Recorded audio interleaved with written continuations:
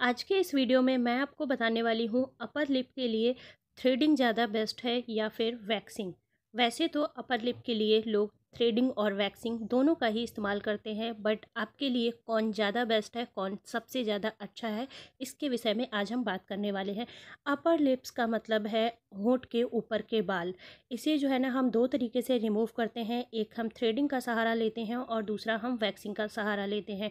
Threading के सहारे से जब भी हम अपने अपर लिप के बालों को जब हम रिमूव करते हैं तो ये थोड़ा पेनफुल होता है और अगर स्किन हमारी लूज़ होती है तो ये काफ़ी ज़्यादा दर्द भी करता है।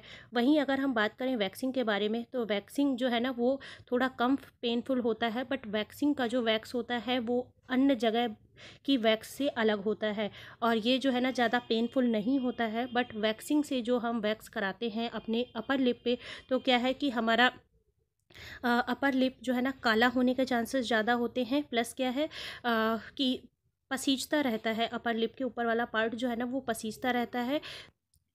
थ्रेडिंग कराने से अपर लिप का जो पार्ट है वो काला नहीं होता है। लंबे समय तक जो है ना, आपके हेयर्स जल्दी से ग्रो नहीं करते हैं और वहीं अगर हम वैक्सिंग से करते हैं तो वैक्सिंग का जो इफ़ेक्ट है ना, वो आपकी स्किन को भी लूज़ करता है। जल्दी से झुर्रियाँ आने के चांसेस ज़्यादा होते हैं और जो है ना, ये काफ़ी ज़्यादा इफ़ेक्टिव भी होता है। आपकी स्किन को काला भी कर सकता है। तो अगर हम दोनों में कंपेरिज़न करें तो थ्रेडिंग वाला जो है ना तरीका ज़्यादा बेस्ट होता है।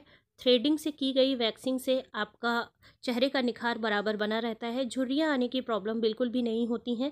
अगर मैं आपको रिकमेंड करूँगी तो मैं बोलूँगी कि आप थ्रेडिंग का ही इस्तेमाल करें। वीडियो अगर आपके लिए थोड़ा सा भी यूज़फुल रहा हो तो इसे शेयर करें अपने फैमिली एंड फ्रेंड्स के साथ। Have a nice day. Channel को सब्सक्राइब करें।